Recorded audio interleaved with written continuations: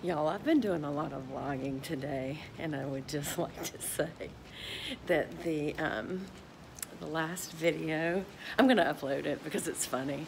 I was just ranting and ranting to y'all about how Amazon had not been properly securing my account and how it had been uh, broken into, and Twitter told me so. I do gotta go check out my Twitter account. I don't know why that happened. But, uh, and while I was talking to you in the video, it was so funny. I was like, kind of what person, even if they did give to a charity, would give $300 worth of shampoo? I mean, who could use that much shampoo? It was a group thing that we were doing at work where you could buy, you know, like cases of shampoo or whatever. Oh, by the way, look at how good that little purse looks with the embroidery on it. The little um, tote that I told you all about. I'll try to link that below if I can remember too. I think it was called I Love Jewelry, which makes no sense that it had totes, but it's cute totes.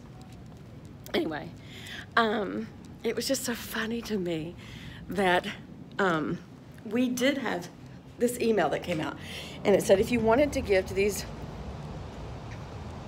children as a charity, um, you could ship it direct, but that the address was undisclosed. And normally, when you do that, it is fraudulent. And so they give you a little warning when you place the or order. There's that you don't know the address, and then it would say that, and blah, blah, blah. But it would ship directly to the children's shelter. And I thought, well, that's where it's needed. Why ship it here, then pay to reship it there? Just pay to ship it there and get it to them direct, you know? And so I did it. But I forgot. Who does that and forgets? I don't even, I, it was like, oh, this little squirrel was all confused. Look. Don't get in the road, little squirrel. Isn't this pretty? I know, so pretty here. Um, I always tell y'all that, but I'm just forever thankful. I never take it for granted, you know? Um, I've had other jobs that were not remotely like this. So anyway, um, but anyway, so you could buy a, a, large amount of this at one time. Hey, and um, ship it in bulk is what I'm saying. And it was, you know, the, kind of the basics, necessities that children need, and certainly shampoo and body wash was one of them. So I did that. I think I did different size panties for both boys and girls, or underwear for boys, panties for girls. And I gave different sizes, mediums. I gave all different kind of sizes, and then some sizes of um, diapers, you know, different stage diapers that you could do. And so I just did a bunch on any, I did put it on my Amazon card after I just got out of debt. I'm gonna get back out of debt because I'm gonna pay that card off as soon as that comes in, that order comes in. I do not remember where I parked. So I may do some panting um, but anyway, I, the, that video was so funny. When I looked back over, I was like, oh my gosh, this is so funny. Because, I mean, I was ranting, wasn't I? And it was me that did it. Ah, was the fraudulent one who got in on my account. I hope I don't end up saying this tomorrow, or actually, I hope I do, on whatever it is Twitter's warning me about. So again, if you get a tweet from Beth Buchanon. I think it will say Beth B. Is, I think it, just like my Instagram. And, uh, God, it's opening. This wouldn't even, my keys wouldn't open my car this morning, y'all. Um, but anyway. Oh my gosh! What a funny, funny, funny, funny day. So I am a little panty. Always worries me. Am I gonna make it? I'm gonna make it. So, I would love your thoughts on what do you think the best diets are. Here's what I'm gonna try, but I still want your thoughts.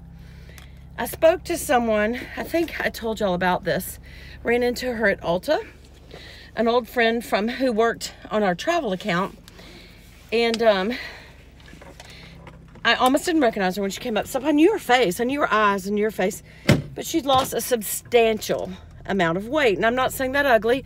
She would tell you that she did. I think she actually reveled just a little bit in the fact that I didn't know who she was because she'd changed. And you know, when you've worked that hard to lose weight, I think you would. I think you would.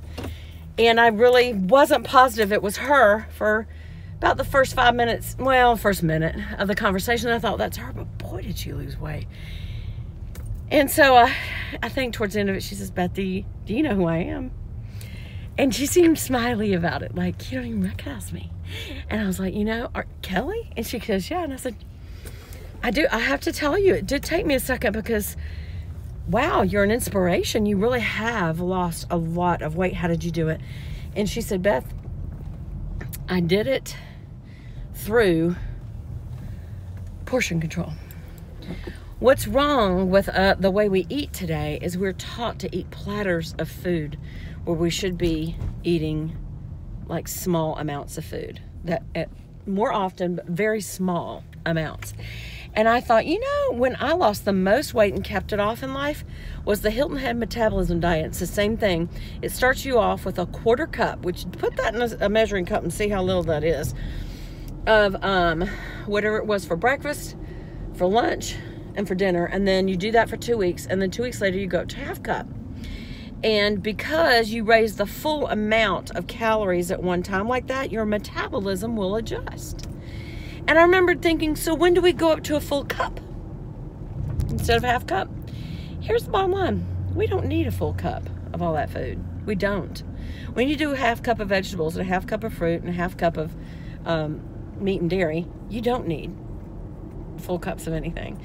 And I lost weight, and for three years I kept it off, and I looked fantastic. And I did go up and down the stairs a lot at work rather than the elevator, is I would like take two two flights of stairs at a time, but I had to do it a couple times a day. And I got to where I really, and I panted. And also, I was 10 years, 15 years. Wait a minute.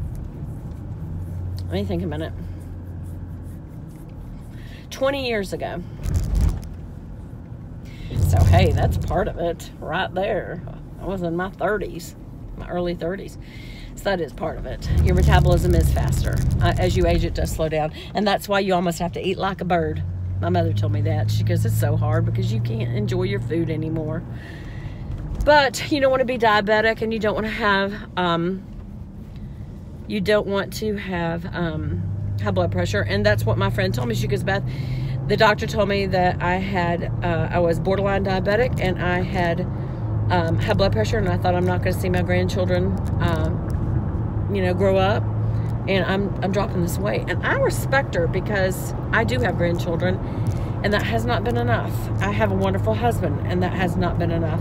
And I'm, you know, you kind of ask yourself, what's going to be enough? What's going to be the thing that makes you straighten up and fly right? That's what we say in this house: straighten up and fly right. But uh, and we give ourselves excuses, and you see all these things. No excuses, just do it. Um, all these different ads, and we all know that. But when are we going to do that? You know.